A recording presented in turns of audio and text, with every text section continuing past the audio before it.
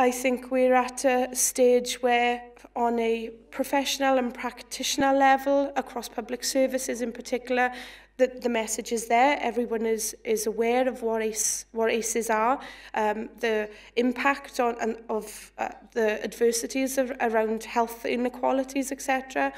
um, but I think there's a lot a long way to go as well in terms of what we do next so what